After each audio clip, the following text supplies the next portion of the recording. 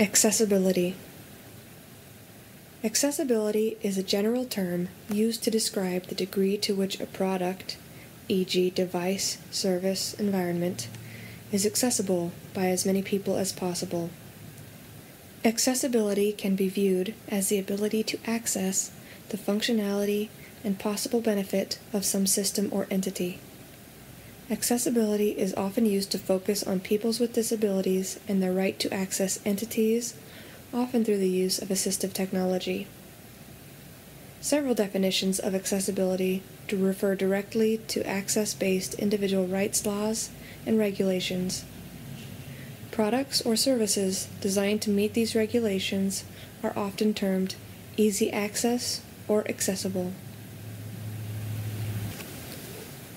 Accessibility is not to be confused with usability, which is used to describe the extent to which a product, e.g., device, service, environment, can be used by specified users to achieve specified goals with effectiveness, efficiency, and satisfaction in a specified context of use. Accessibility is strongly related to universal design when the approach involves direct access. This is about making things accessible to all people, whether they have a disability or not. However, products marketed as having benefited from a universal design process are often actually the same devices customized specifically for use by people with disabilities. An alternative is to provide indirect access by having the entity support the use of a person's assistive technology to achieve success, e.g., screen reader.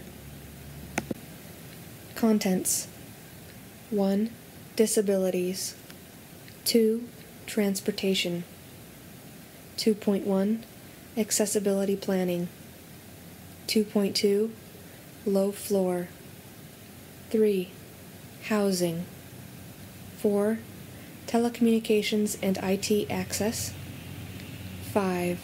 Meeting and conference access 6. Test accessibility 7. See also. 8. References. 9. External links. 9.1. Technology accessibility. Disabilities. The disability rights movement advocates equal access to social, political, and economic life, which includes not only physical access, but access to the same tools, services, organizations, and facilities which we all pay for. While it is often used to describe facilities or amenities to assist people with disabilities, as in wheelchair accessible, the term can extend to braille signage, wheelchair ramps, elevators, audio signals at pedestrian crossings, walkway contours, website design, and so on. Various countries have legislation requiring physical accessibility, which are, in order of enactment, in the U.S., under the Americans with Disabilities Act of 1990, new public and private business construction generally must be accessible. Existing private businesses are required to increase the accessibility of their facilities when making any other renovations in proportion to the cost of other renovations. The U.S. Access Board is a federal agency committed to accessible design for people with disabilities. The Job Accommodation Network discusses accommodations for people with disabilities in the workplace. Many states in the U.S. have their own disability laws. In Australia, Disability Discrimination Act 1992 has numerous provisions for accessibility. In the UK, the Disability Discrimination Act 1995 has numerous provisions for accessibility. In South Africa, the Promotion of Equality and the Prevention of Unfair Discrimination Act 2000 has numerous provisions for accessibility. In Ontario, Canada, the Ontarians with Disabilities Act of 2001 is meant to improve the identification, removal, and prevention of barriers faced by persons with disabilities. In transportation, accessibility refers to the ease of reaching destinations. People who are in places that are highly accessible can reach many other activities or destinations quickly. People in inaccessible places can reach many fewer places in the same amount of time.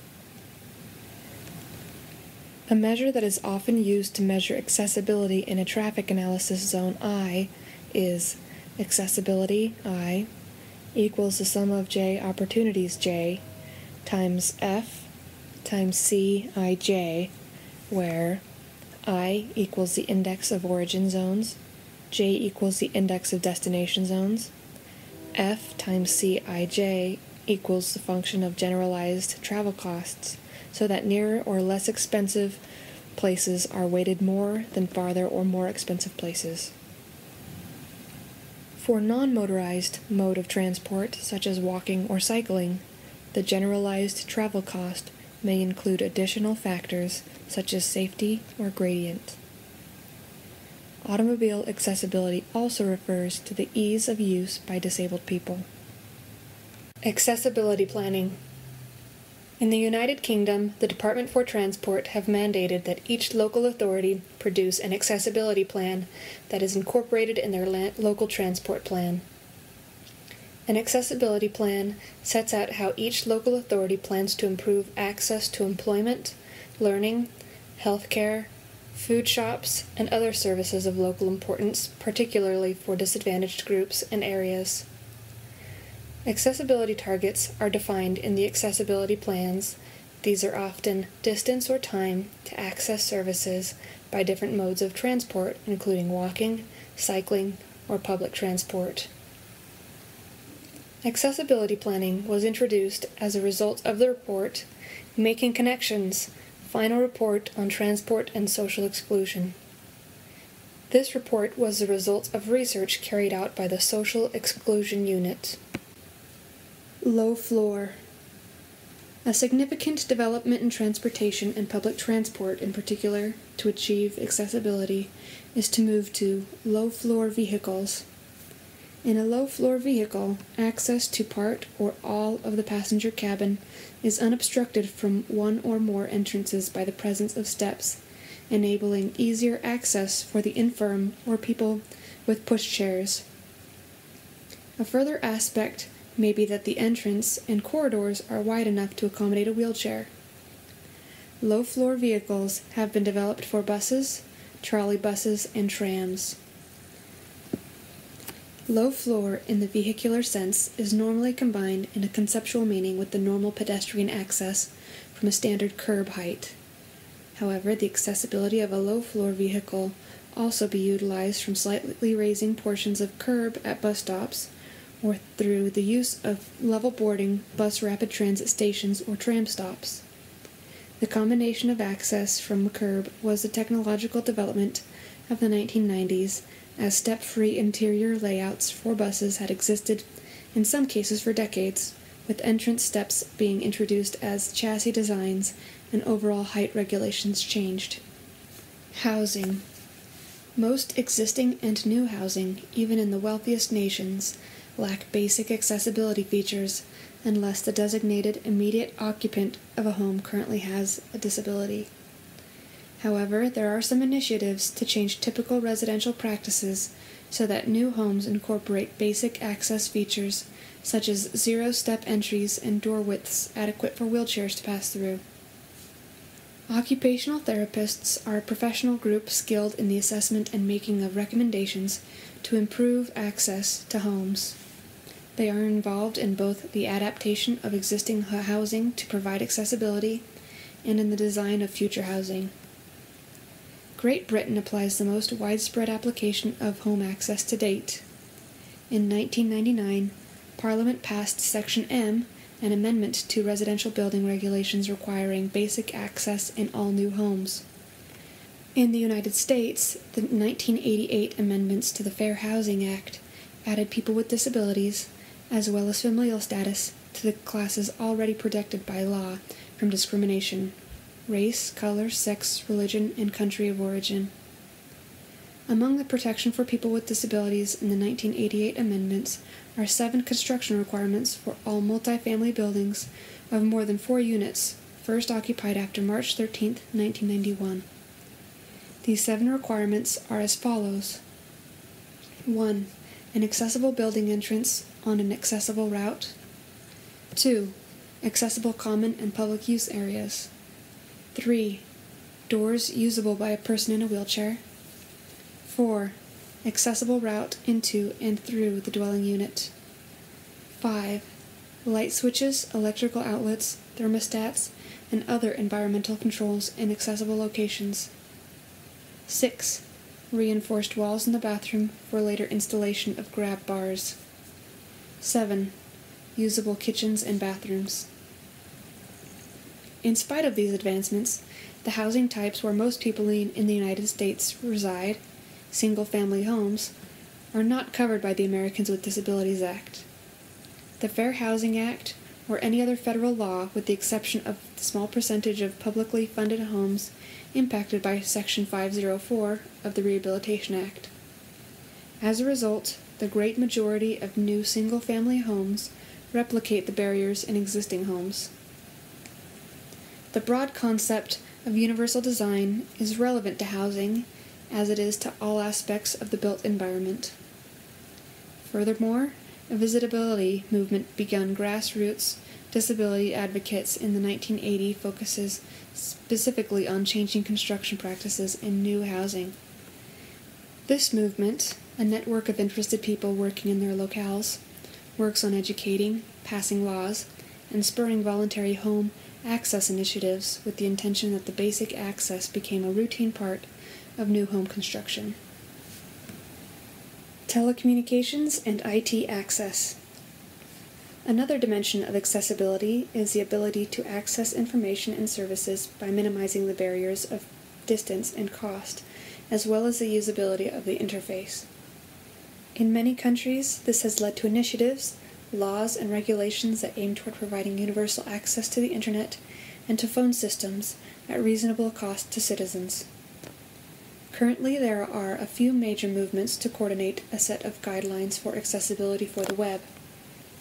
The first and most well known is the Web Accessibility Initiative, WAI, which is part of the World Wide Web Consortium, W3C. This organization developed the Web Content Accessibility Guidelines, WCAG 1.0, which explains how to make web content accessible to people with disabilities. Web content generally refers to the information in a web page or web application including text, images, forms, sound, and such. More specific definitions are available in the WCAG documents.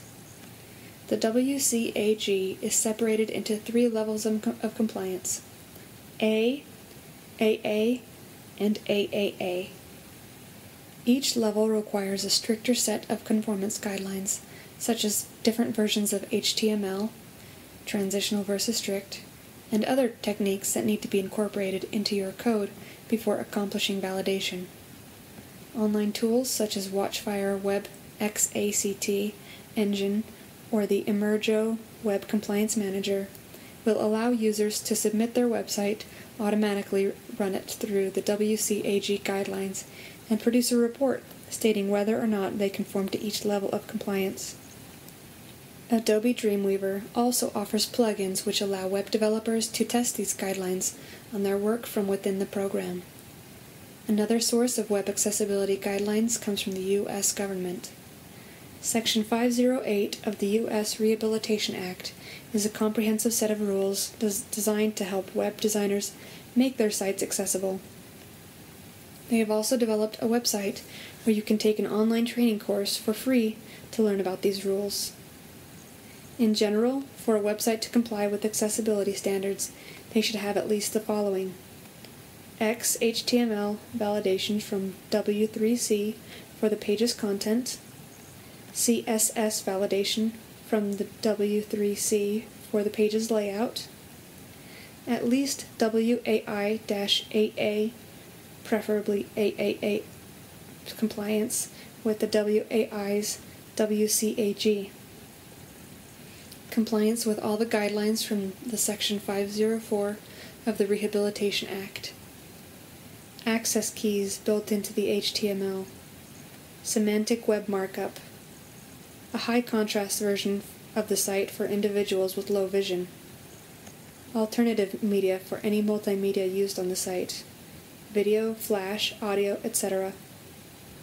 Another good idea is for websites to include a web accessibility statement on the site.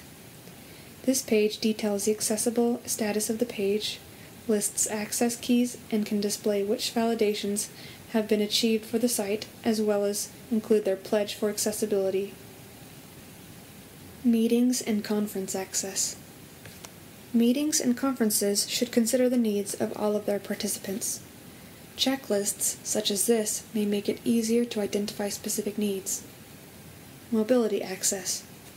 Wheelchair accessible transportation, reserved parking, barrier free meeting rooms, restrooms, podiums, speakers platform, handicap accessible lodging. Hearing access. Advanced copies of papers, an assistive listening system, sign language interpreters, a quiet place to gather for social conversation, a quieter space that is still visible to others, should be reserved at social events or dinners so that people who are hard of hearing may go there to talk with their colleagues. TTY access or internet based TRS. Site access. Large print or braille copies of the program and papers. A student volunteer to guide and describe the artwork, computer work, etc a tech to help with assistive devices and screen readers, e.g., JAWS Reader, gloves to touch three dimensional work where permissible. Other issues notification if social events include flashing lights and noises. These can cause seizures, so either avoid them or announce them ahead of time. Notices asking participants to refrain from allergy producing problems, e.g., perfumes. Inform food providers of food allergies, e.g., peanuts, shellfish, etc. Referral information for local personal care attendant agencies. Referral information for veterinarian care for service animals. Access to a place to rest during the day if the conference venue is far from the lodgings. Test accessibility. With the passage of the No Child Left Behind Act of 2001, student accountability in essential content areas such as reading, mathematics, and science has become a major area of focus in educational reform. As a result, test developers have needed to create tests to ensure all students, including those with special needs, e.g., students identified with disabilities, are given the opportunity to demonstrate proficiency on the state assessments. Currently, states are permitted to develop two different types of tests in addition to the standard grade level assessments to target students with special needs. First, the alternate assessment may be used to report proficiency for up to 1% of students in a state. Second, new regulations permit the use of alternate assessments based on modified academic achievement standards to report proficiency for up to 2% of students in a state. To ensure these new tests generate results that permit valid inferences about student performance, they must be accessible to as many individuals as possible. The Test Accessibility and Modification Inventory, TAMI, was developed for this purpose. Integrating principles of universal design, assessment accessibility, cognitive load theory, and research on item writing and test development the TAMI is a decision making tool designed to facilitate a comprehensive analysis of tests and test items to enhance their accessibility for all students. The TAMI is a non commercial instrument that has been made achievable to all state assessment directors and testing companies. This recording and all the text contained in it is available under the GNU Free Documentation License, available at http colon slash slash www.gnu.org slash copy left